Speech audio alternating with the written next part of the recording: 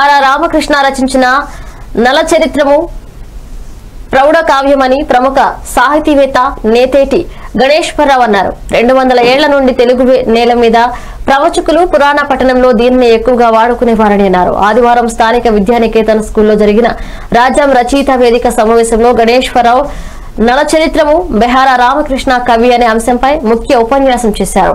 పొట్టూరు కోటిబాబు అధ్యక్షత జరిగిన సమావేశంలో వేదిక సంచాలకుడు గార రంగనాథం పిల్లా తిరుపతిరావు అల్తి మోహన్ రావు బొంతు సూర్యనారాయణ తదితరులు పాల్గొన్నారు.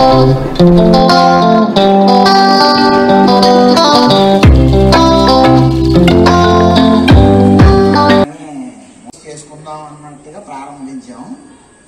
అయితే అప్పుడు మన పూజనాథం గారు ఈయన ఉండారు అప్పుడు ఒక చిన్న సూచన ఏంటంటే కేవలం ఇది ఈ రోజు ఈ రోజు గాలిలో కలిసిపోకుండా దీన్ని లిఖిత రూపంలో ఉపన్యాసాలన్నీ కూడా అంటే చెప్పినటువంటి అంశాలన్నీ లిఖిత రూపంలో ఉంచుకుందాం.